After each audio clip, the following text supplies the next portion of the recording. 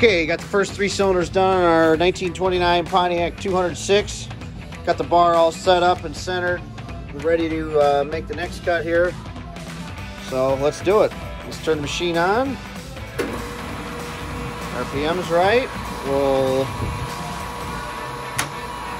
get that baby spinning there, get the arbor going, and we will engage the feed. And here we go. That's it, baby. Cutter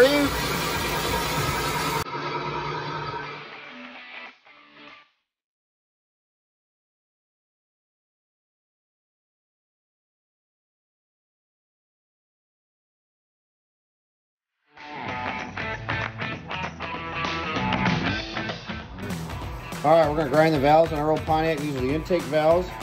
They say intake right on them, believe it or not. But uh, we're gonna use our Sioux 680 valve grinder. We're gonna put her in the chuck.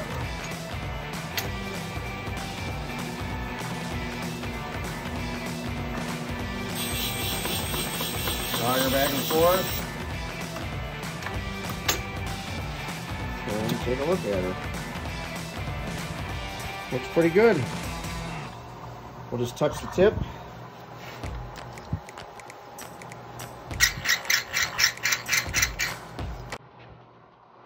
And there you go. She's ready for another 100 years. Good? Yep. All right, we're going to put uh, new valve guides in our uh, Pontiac. We got new ones for Meggie. And I got all of them done except the last two. So we'll put our KD valve guide driver in here and drive her home.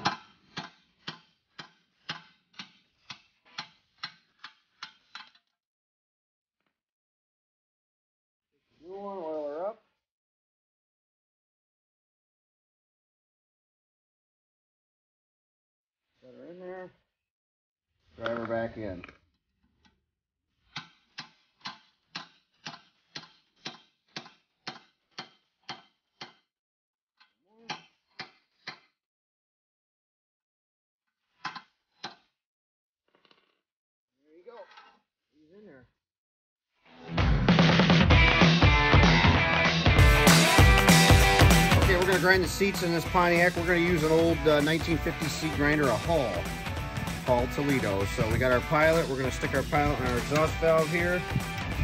Pop it out. We're gonna take our seat grinder. We're gonna set it up on here. It's gonna come to a stop. Make sure our stone doesn't hit, which it does not. Flip the switch. And then we'll adjust to grind it.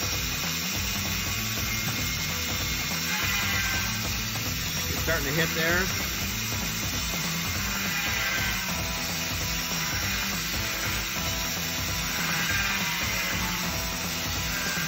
One more spot.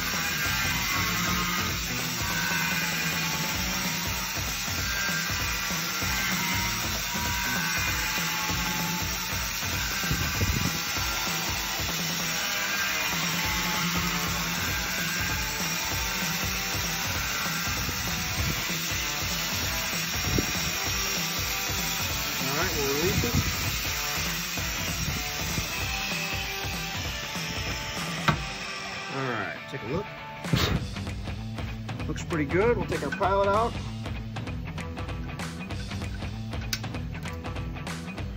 Get a close up of that. Looks pretty good. So we'll take one of our new exhaust valves. We'll put some uh, Prussian blue on it.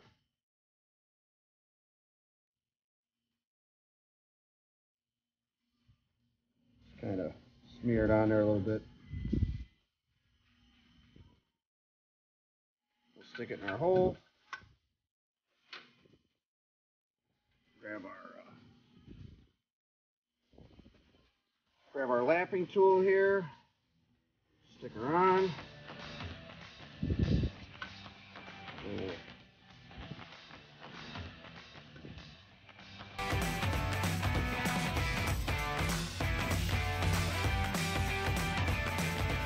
The seat looks really good. See around the seat and the valve. Well, then I smeared it. Looks really good.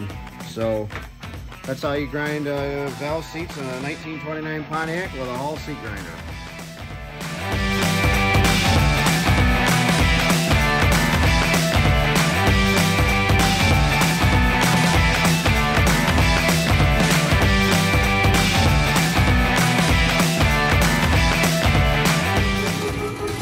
Okay, we're decking our 1929 Pontiac block.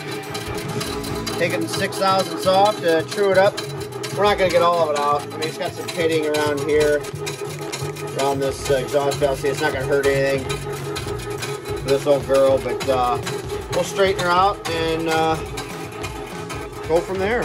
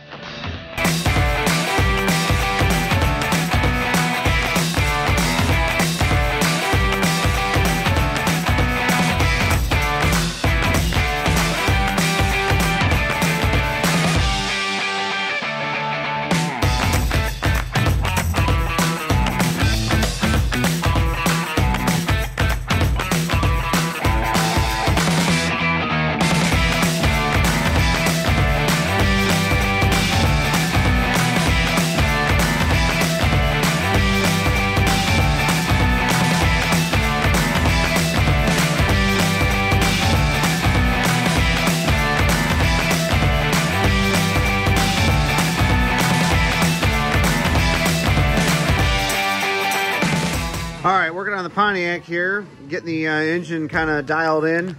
Uh, I'm gonna go ahead and check uh, oil pressure. Uh, this thing has a mechanical adjustable relief valve um, right there. So the, the Pontiac service manual from 1929 says drive at 30 mile an hour and adjust the oil pressure to about 25 PSI.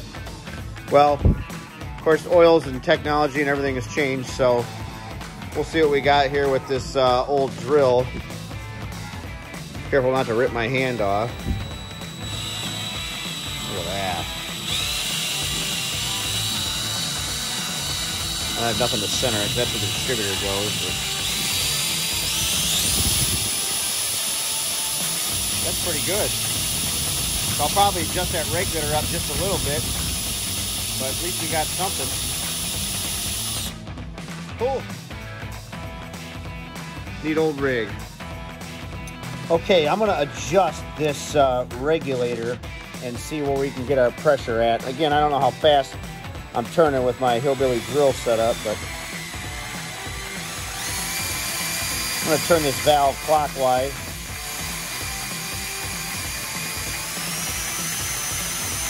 That came up a little bit. Perfect. That's 30 PSI. That's good enough for this old wreck.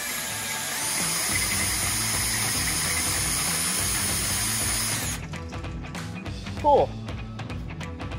There we go. We adjusted our uh, regulator up. Got another 5, 6 PSI out of her. She'll be good to go. Okay, I adjusted up our uh, regulator a little bit. Uh, we'll see what we got.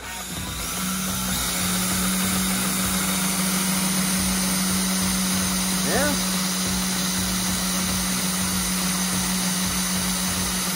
Pretty good for this old wreck.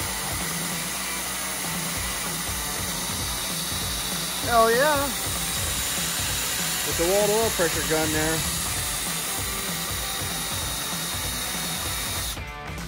Cool. Ship it. Okay, working on the uh, manifold for the Pontiac. Uh, cleaned it up. I noticed there's a hole right there. It's all rotten through. Uh, that's where exhaust goes. You know, years ago, anything carbureted, even all the way up to the early 90s, there was always heat in the intake because it would ice up. You know, you got air rushing through a Venturi, um, creates cold temperature in there. So uh, instead of carburetor icing where it would quit running and stalling and so forth, they put heat in there. So that'll grow rotted out. I'm going to uh, braze. I just touched it on a resurfacer. I'm gonna have to go a little more to see how far off it is. You can see it's off a little bit, but I'm gonna go ahead and braze this and see what happens.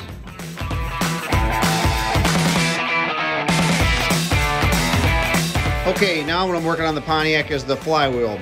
Uh, I had the clutch uh, sent out and redone, and now I'm going to machine the flywheel. And this is a step flywheel. So this is where the clutch disc rides. There's a little lip here. Okay, but that's not really the step. The step is here. Um, so the pressure plate, see the pull holes? Okay, the pressure plate bolts here. So the dimension from here to here is critical because if I screw that up, uh, by a great number, the clutch isn't going to work right. So we're going to use our handy dandy depth mic and we're going to measure what it was before I started. And actually I already called this measurement into the clutch place. Uh, our friends at South Bend Clutch in Indiana. They're super. So they set the clutch up for 1 inch 180.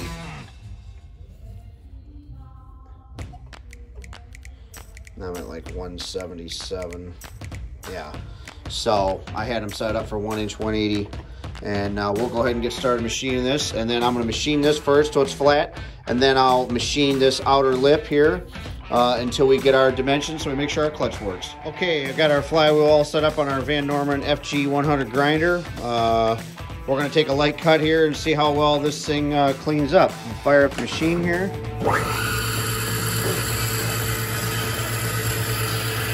Down a little bit so we start to touch.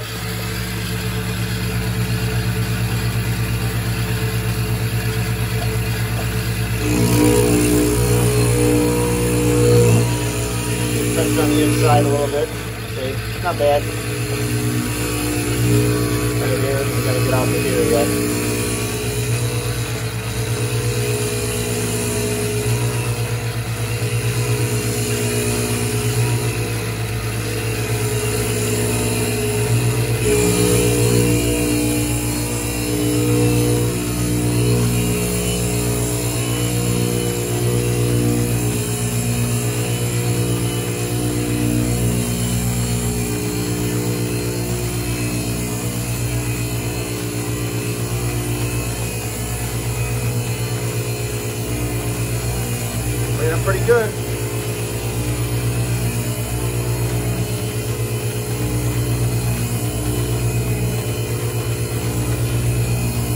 You don't do much anymore, nothing stick shift.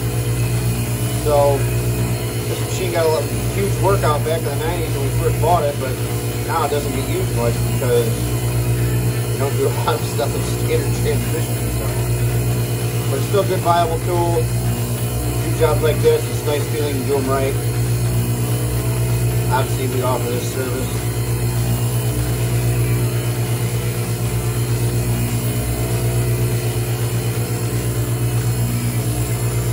Yeah, I'll uh, finish her up here. Okay, I got our uh, main uh, disc surface all ground up, come out nice. Um, I just took a measurement and it is 145,000. So I need to get to, or one inch 145, I need to get to 180. So I got to take off 35 thousandths is what I had to take off of here. So I'm going to take 35 thousandths off this upper lip. So we'll go ahead and fire up our machine. Little coolant on there.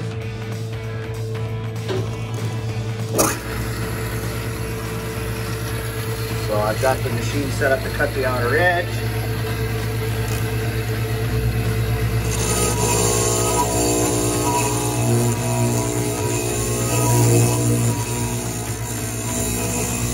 So this is a slow process because I, obviously if I take too much off, I've got to cut the main surface. So take a little bit off here and we'll stop it and we'll check see where she goes.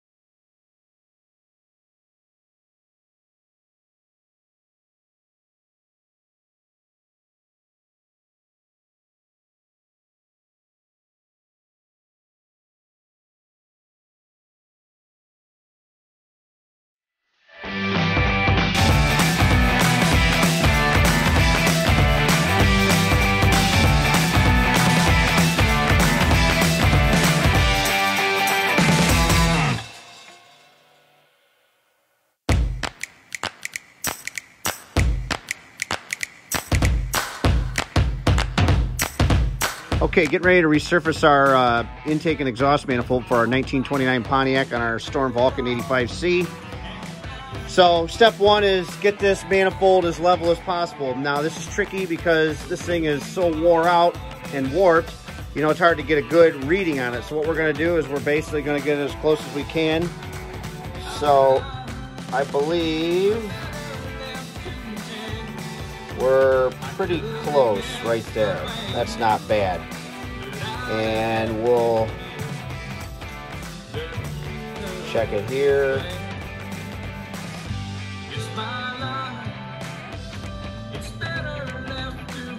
The level's about centered on there.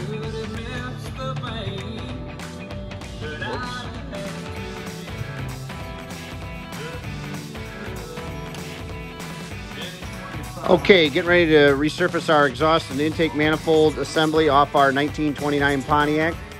Um, I've done the hard part already. I've got it as level as possible uh, both ways. So on our universal fixtures. So I'm going to go ahead and uh, take a uh, test cut here. Fire at the mill. I'll run this down so it just starts to touch.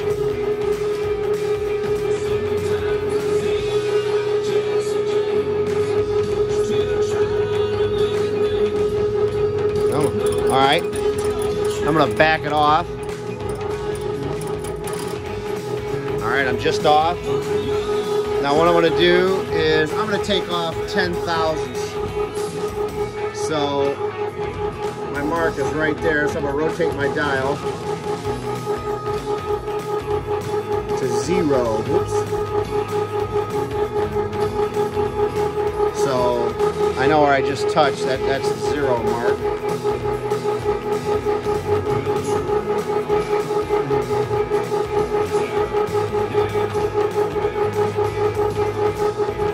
Close enough. All right, and then what I'm gonna do is I'm gonna turn this 10 thousandths. I know it's gonna take more than that, but let's just see how bad it is. All right, then I'll lock her down.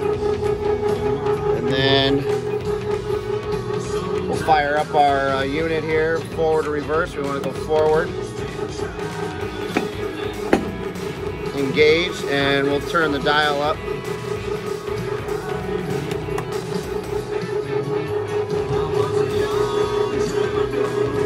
Let's see what happens.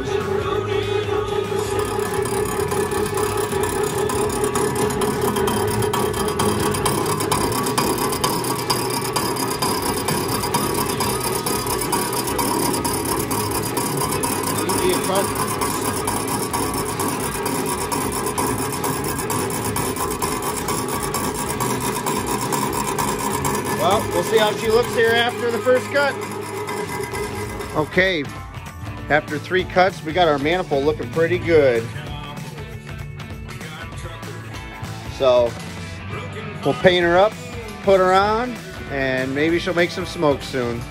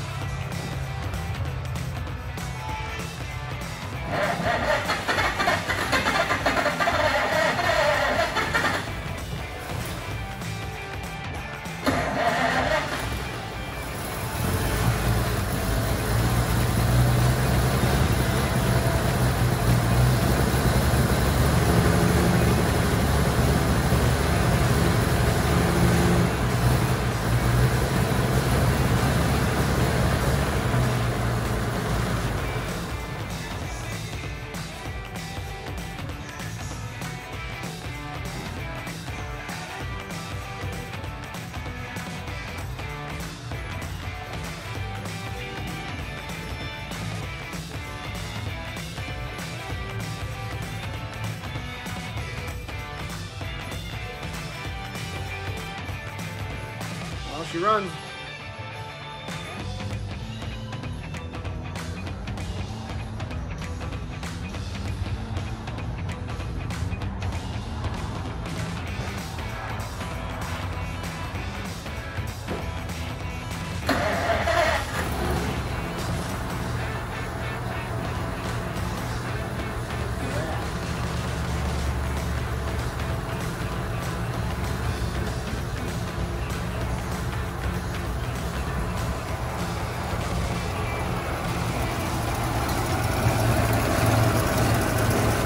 Pretty good. I got a little exhaust leak and got to tune it in, but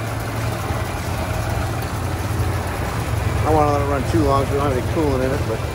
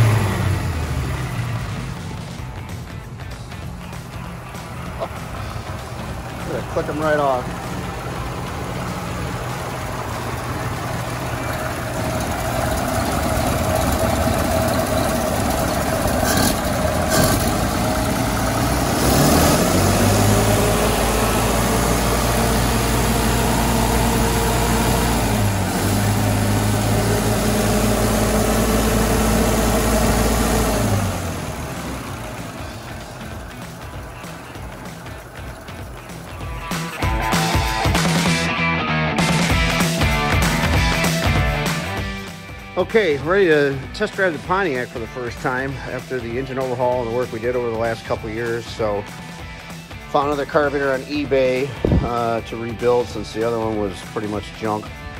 So we got it running pretty good, safe enough where I think I can drive it and not get stuck. So this is a really cool old car. I really like this thing. It's all original. It is original paint, original interior. I mean, it's actually not in bad shape. It is just so cool. Just think what it'd be like driving this thing back in 1929. you know, wood floor. A lot of GM cars didn't hang around because they were a lot of wood where the Fords weren't. So this thing is just a sweet old rig. But, but like I say, I've been working on this thing for, well, at least two years. We've had it almost 10. I say the engine knocked real bad. Wrist pins and that were junk, so we finally are, are getting her done. But um, it's a real cool rig. So we're gonna fire this thing up and we're gonna take it for a ride.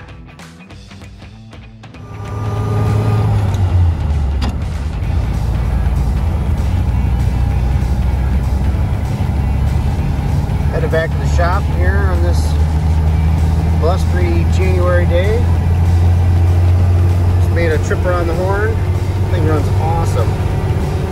Can't wait to drive this thing this spring. When the weather's nice, no salt on the roads. Of course, we got salt on the roads here, but hey, if this thing lasted 90 some years, it could take a couple, couple trips in the salt. So